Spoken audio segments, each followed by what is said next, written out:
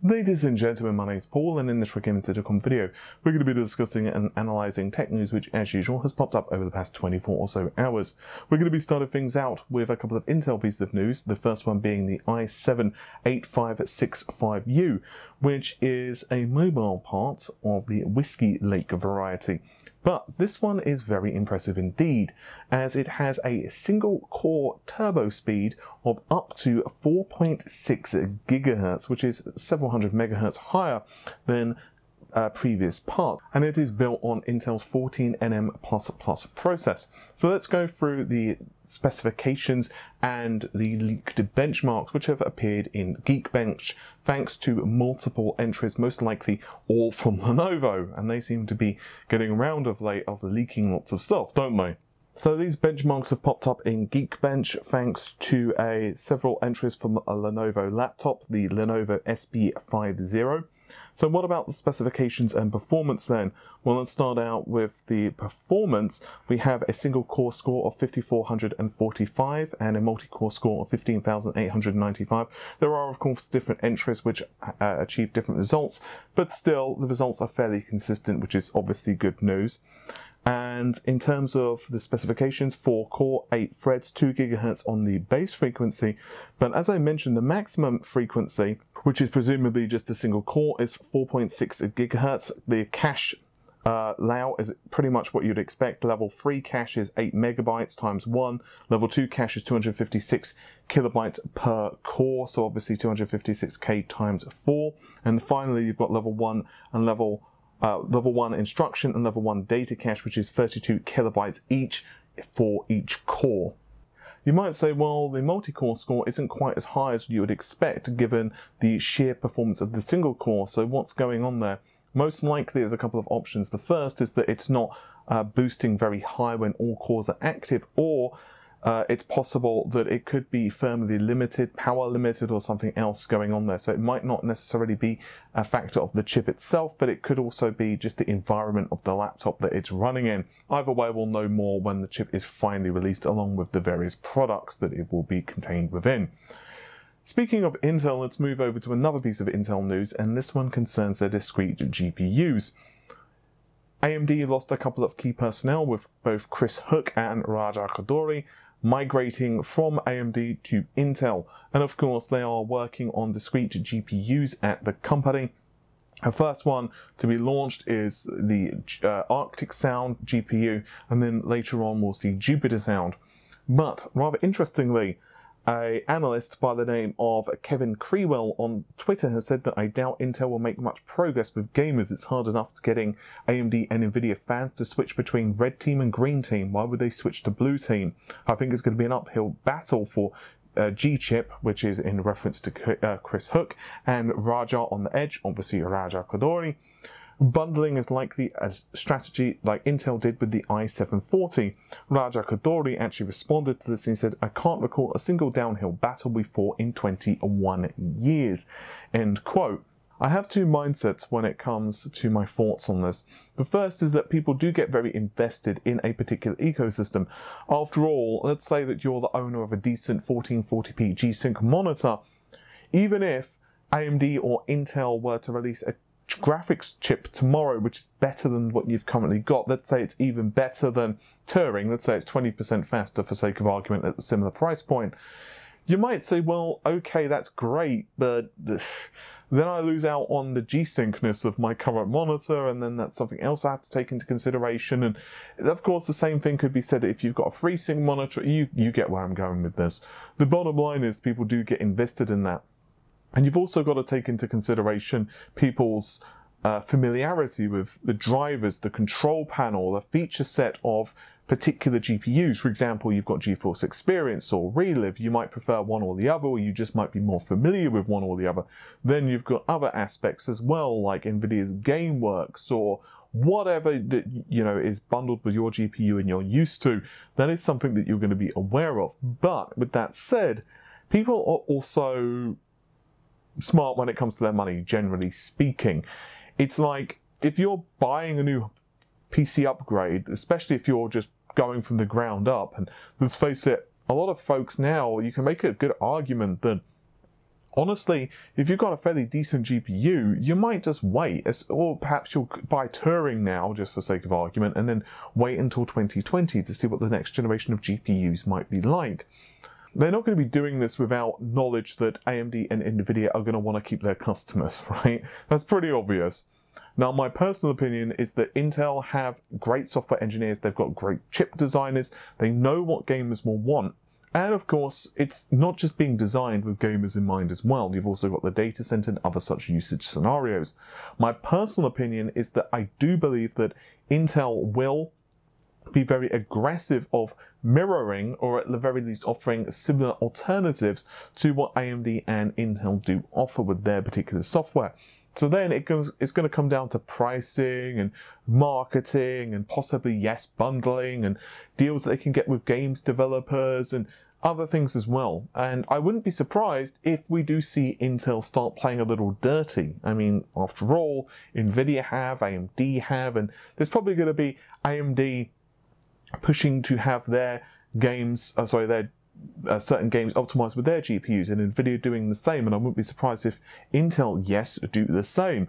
And we've already seen them pushing towards Vulkan. It's going to be very interesting, I think, in 2020, particularly when you consider that, yes, at that point, ray tracing, I wouldn't, is going to, it's not going to be normal by any stretch of the imagination.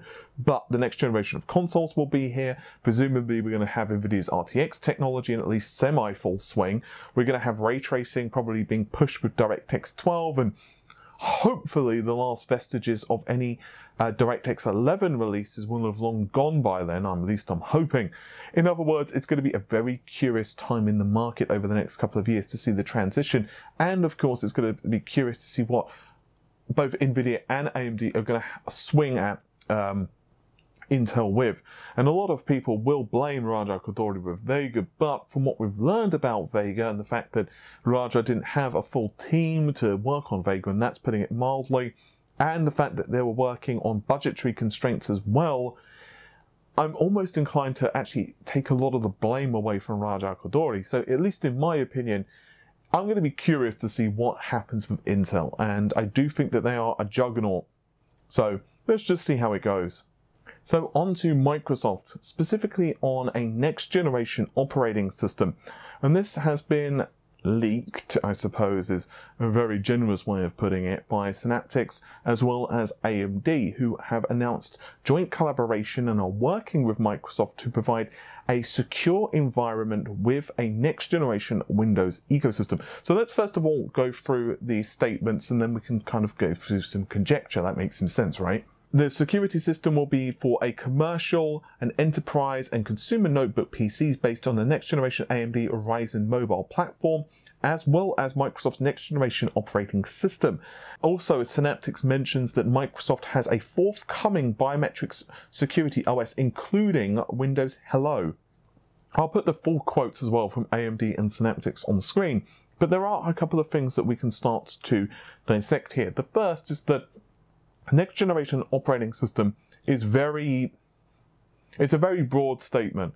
It could mean that it could just simply be an update to Windows 10, right? We've seen multiple updates for Windows 10 and they have very much changed the look and the feel and the functionality of the OS. So we could be seeing something like that, or perhaps a tweaked version of Windows 10 specifically for those environments. Which makes sense. One of the criticisms often levied at Microsoft is that well, yeah, your operating system isn't as secure.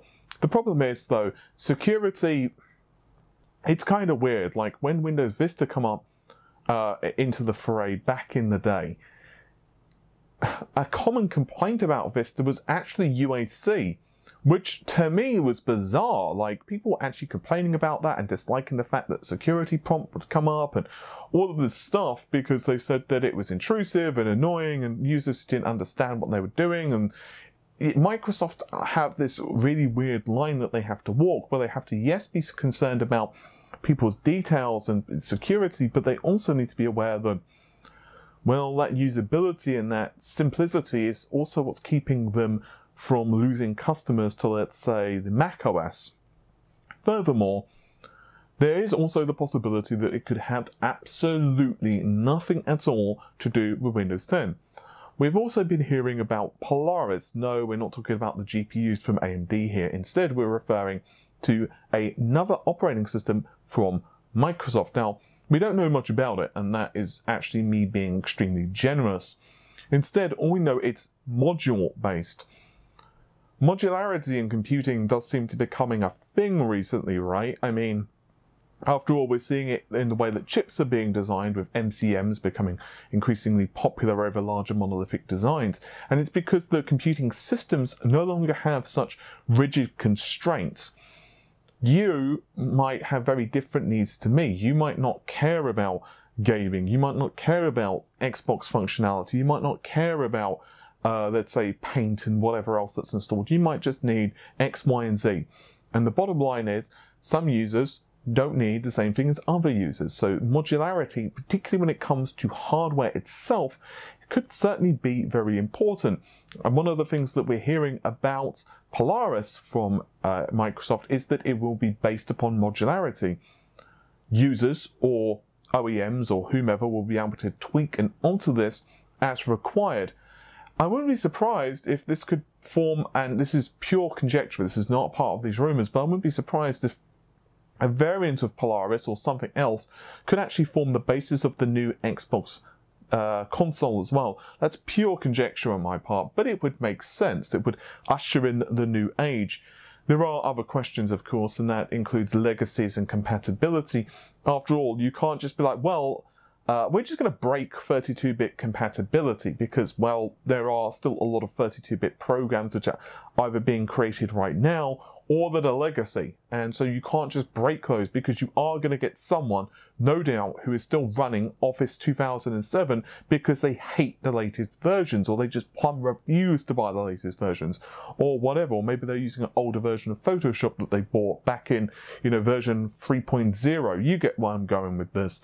So you do need that legacy compatibility of 32-bit operating systems. So we do know some stuff is certainly going to remain almost almost inherently, but modularity could possibly see that if it's a console, for example, it doesn't need legacy compatibility necessarily with 32-bit.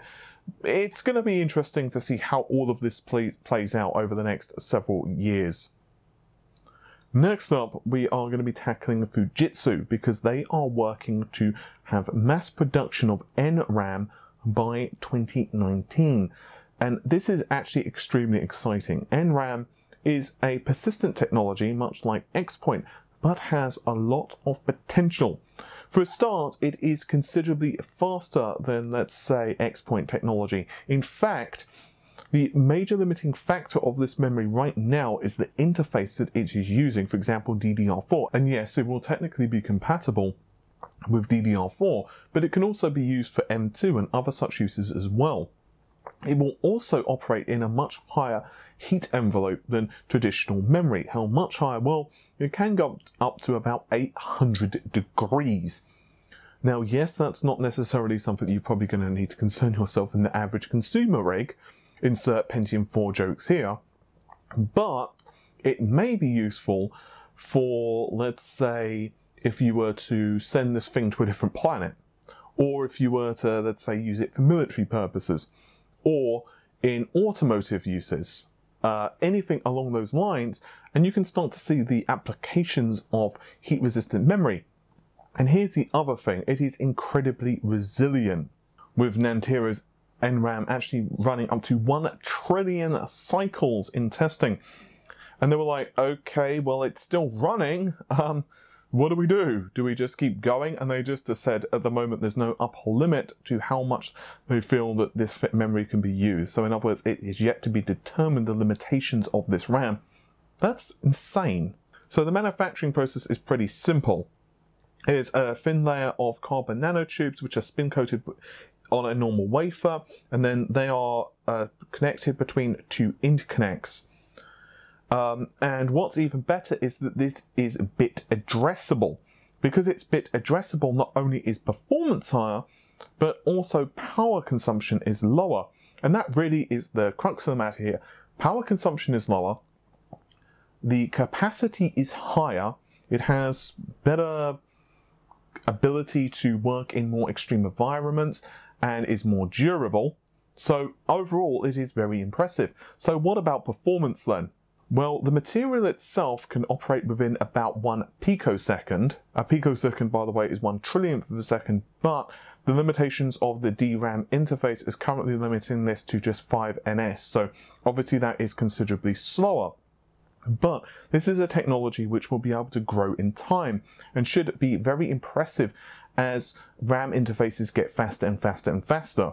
In theory, this will be an excellent competitor to TLC and other such technologies, as well as, of course, as I just mentioned, 3D XPoint, and it is a persistent memory. And honestly, I think it's really cool sounding.